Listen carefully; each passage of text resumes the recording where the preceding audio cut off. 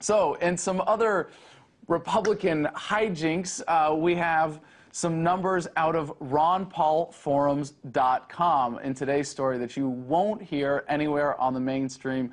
The reports for fundraising for the Republican presidential candidates came out just a couple weeks ago, and our good friends at RonPaulForums.com have been crunching the numbers. Here we have total contributions by active duty military personnel by the candidate. Herman Cain, $6,223. Now remember, these, these numbers are uh, coming from reports that, that may be, uh, if anything, overstating these, these numbers at this point.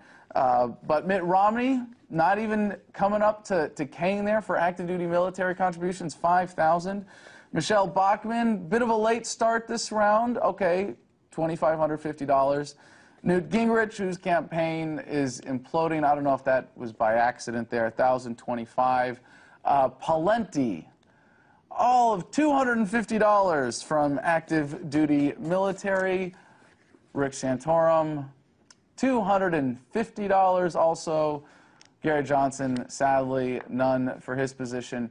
Total there of those uh, other candidates, so to speak, $15,398.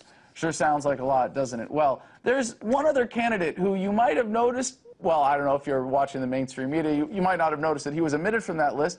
Let's see, how much did Ron Paul get in this last quarter from active duty military? Oh my gosh, $36,739.79. No surprise, actually, that this was the case far outstripping all other Republican presidential candidates put together, as was the case uh, four years ago. But let's see. Let's compare this to who's who's the other guy running for president in 2012? Oh yeah, twenty-eight thousand eight hundred thirty-three dollars and ninety-nine cents for the president himself, including all the donations from the Marines, the Air Force, the Navy, the Army, whatever that other branch is, to the commander in chief.